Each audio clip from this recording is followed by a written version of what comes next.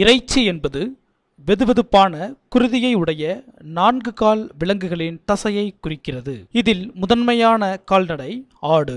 இறைச்சியில் விலங்குகளின் சுரப்பிகள் மற்றும் உறுப்புகளும் அடங்கும். இறைச்சியிலிருந்து பல உயிரி எரிபொருட்கள் தயாரிக்கப்படுகின்றன.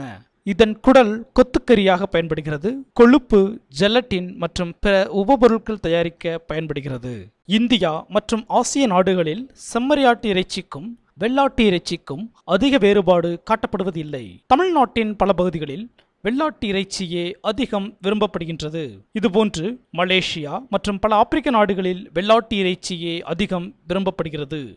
மேலை நாடுகளில் வெள்ளாட்டு இறைச்சி செம்மறியாட்டு இறைச்சி போல் விரும்பப்படுவதில்லை. வெள்ளாடுகள் வெட்டப்படும் பொழுது ஐம்பது முதல் ஐம்பத்தி ஐந்து சதவீதம் இறைச்சி கிடைக்கின்றது. எனினும் கிளை நாடுகளில் அதிக அளவில் வெள்ளாட்டின் பாகங்கள் பயன்படுத்தப்படுகின்றன. செம்மறியாட்டு இறைச்சி மட்டன் எனப்படும் பொழுது வெள்ளாட்டு இறைச்சி செவ்வான் என அழைக்கப்படுகின்றது. இறைச்சியின் வகுப்புகள்.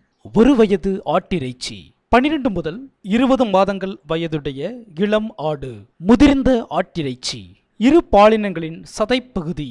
இறைச்சியை முதிர்வடைய வைத்தல். இறைச்சியை ஒன்று அல்லது இரண்டு நாட்களுக்கு குளிர்வித்தால் விரைப்புத்தன்மை ஏற்பட்டு தசைப்பகுதி மீண்டும் மென்மையாகவும் வளையக்கூடிய தன்மையுடனும் மேம்பட்ட சுவை மற்றும் சாறுத்தன்மையுடனும் நிகழ்வடைகிறது. இறைச்சியை முதிர்விக்கும் இந்த காலகட்டத்தில் சில மாற்றங்கள் நிகழ்கின்றன. ஆட்டிறைச்சி எப்பொழுதாவது பதப்படுத்தப்படுகிறது.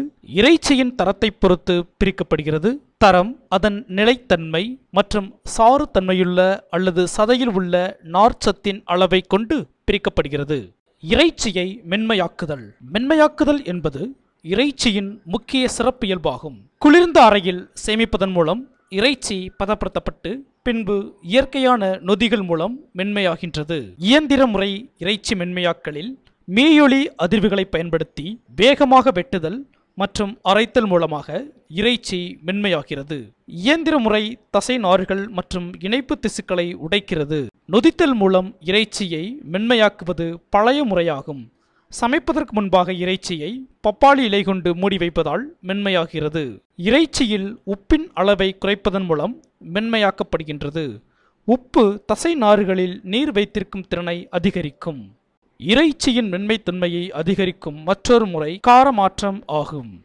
இறைச்சியை பதனப்படுத்துதல். பதனப்படுத்தும் பொழுது இறைச்சியின் பாதுகாப்பு தனிப்பட்ட சுவை சிவப்பு நிறம் மற்றும் மென்மைத்தன்மையில் மாற்றங்களை ஏற்படுத்துகிறது. பதனப்படுத்த பொதுவாக தேவையான பொருட்கள் உப்பு சோடியம் நைட்ரேட் அல்லது நைட்ரேட் சர்க்கரை மற்றும் மசாலா பொருட்கள் ஆகியவையாகும். நைட்ரேட் மயோக்ளோபின் சிவப்பு நிறத்தை தக்க வைக்கிறது சுவையை அதிகரிக்கிறது மற்றும் கிளாஸ்ட்ரியம் பொட்டுலிமை தடுக்கிறது. மசாலா பொருட்கள் வாசனைக்காக சேர்க்கப்படுகிறது. இறைச்சியை துண்டாக்குதல் மற்றும் தரம் பிரித்தல். இறைச்சி பொதுவாக பெரிய துண்டுகளாக பிரிக்கப்பட்டு அவை மீண்டும் சிறு சிறு துண்டுகளாக பிரிக்கப்படுகின்றன. இறைச்சி தரத்தை பொறுத்து பிரிக்கப்படுகிறது. தரம் அதன் சாறுத்தன்மை அல்லது தசை நார்களை பொறுத்து பிரிக்கப்படுகின்றது. இறைச்சி சமைக்கும் முறைகள். உலர் வெப்பம் வறுத்தல். கடாயில் நூத்தி அறுபத்தி மூன்று டிகிரி செல்சியஸ் வெப்பநிலையில் வறுக்கும் பொழுது இறைச்சி பார்ப்பதற்கு நன்றாகவும் நல்ல சுவையுடனும் இருக்கும். வாட்டுதல். இம்முறையில் இறைச்சியை நேரடி கதிரியக்க வெப்பத்தில் அதாவது கேஸ் கரியடுப்பு அல்லது மின்சார அடுப்பில் வைக்கவும். வாட்டுவதற்கு மென்மையான துண்டுகள் இரண்டு புள்ளி ஐந்து சென்டிமீட்டர் பருமன் கொண்டதாக இருக்க வேண்டும். மெலிந்த துண்டுகளாக இருந்தால் வாட்டும் பொழுது மிக உலர்ந்துவிடும். வாட்டும் பொழுது வெப்பநிலை நூத்தி எழுபத்தி ஆறு டிகிரி செல்சியஸ் அளவாக இருக்க வேண்டும். உலர் வெப்பத்தில் வாட்டுதல் வறுத்தலை விட வேகமாக இறைச்சியை சமைக்கும் முறையாகும். கடாயில் வாட்டுதல். இறைச்சி குளிர்ச்சியான வளையத்தில் வைக்கப்பட்டு சூடேற்றப்படுகிறது. அதனால் இறைச்சி மெதுவாக வேகிறது. கடாயில் படைந்திருக்கும் கொழுப்பை நீக்கிவிட வேண்டும். அப்பொழுதுதான் இறைச்சியை கடாயில் வறுப்பதற்கு பதிலாக வாட்ட முடியும். பொரித்தல். வறுத்தலில் இரண்டு வகை. கடாயில் வறுத்தல் மற்றும் பொரித்தல். அதிக வெப்பநிலையில் சமைத்தால் இறைச்சி வேகாமல் போகலாம். ஈர வெப்பம் இம்முறை மென்மையற்ற துண்டுகளுக்கு பயன்படுகிறது. அதி அழுத்த வதக்கல் இம்முறையில் இறைச்சி தண்ணீர் சேர்த்து அல்லது சேர்க்காமல் சமைக்கப்படுகிறது. வாட்டுதல் கடாயில் வாட்டுதல் அல்லது வறுத்தல் மூலம் இறைச்சி கவனமாக எல்லா பகுதிகளிலும் பழுப்பு நிறமாக்கப்படுகிறது. தக்காளி மற்றும் பழச்சாறு திரவ நிலையில் சேர்க்கப்படுகிறது. சுண்டக் கொதிக்க வைத்தல் கடுமையாக இறைச்சியின் பெரிய துண்டுகள் போதுமான அளவு தண்ணீரில் மென்மையாகும் வரை சமைக்க வேண்டும். அழுத்த சமையல் இம்முறைக்கு குறைவான நேரம் போதுமானது. அழுத்த சமையலில் குறைவான சாறு மற்றும் சமையல் இழப்பு குறைகிறது. பதப்படுத்துதல். பதப்படுத்தும் பொருட்களை சேர்க்கும் பொழுது இறைச்சியின் சுவை நிறம் மற்றும் மென்மைத்தன்மையில் மாற்றங்கள் ஏற்படுகிறது. மூப்படைய வைத்தல் இறைச்சியை புதிது போல் வைக்கிறது. பதப்படுத்துதல் இறைச்சியின் தன்மையை மாற்றுகிறது மற்றும் பல்வேறு பொருட்களை தயாரிக்க பயன்படுகிறது. இதன் நோக்கம்னு பார்த்தோம்னா தனித்தன்மை வாய்ந்த சுவையான இறைச்சி பொருட்கள் தயாரிக்க சமைத்த பின்பும் இறைச்சியின் சிவப்பு நிறம் மாறாமல் இருக்க இதுக்கு தேவையான பொருள்னு பார்த்தீங்கன்னா சோடியம் குளோரைடு இது வந்து மிதமான பாதுகாப்பு மற்றும் சுவை இருக்க செய்கிறது. Sodium nitrate. சோடியம் நைட்ரேட் எதுக்குன்னு பார்த்தீங்கன்னா பதப்படுத்தப்பட்ட இறைச்சிக்கு தனிப்பட்ட சுவை சேர்க்கிறது.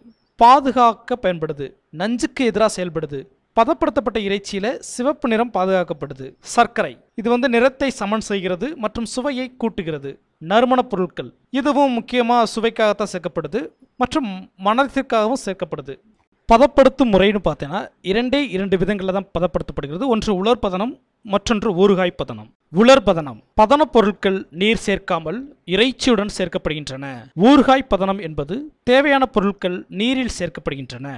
உலர்ந்த உப்பு பதனம். உப்பு தனியாக அல்லது உப்புடன் நைட்ரேட் அல்லது நைட்ரைட்டுடன் சேர்த்து பயன்படுத்தலாம். கொழுப்பு சத்து அதிகமாக உள்ளவர்கள் இம்முறையை பயன்படுத்தலாம். இதோட தீமை என்னன்னு பார்த்தோம்னா இறுதியில் பொருள்கள் உப்பாகவும் நிறம் இழந்தும் காணப்படும். வழக்கமான உலர்பதனம் உலர்பதனத்தில் மாற்றங்கள் பொதுவாக கொள்கலன் உபயோகிக்கும் பொழுது இறைச்சி உப்பாகவும் மற்றும் பொதுவாக நறுக்கப்பட்ட பதமிட்ட பொருட்கள் எப்பொழுதும் சிலிண்டர் வடிவில் இருக்காது.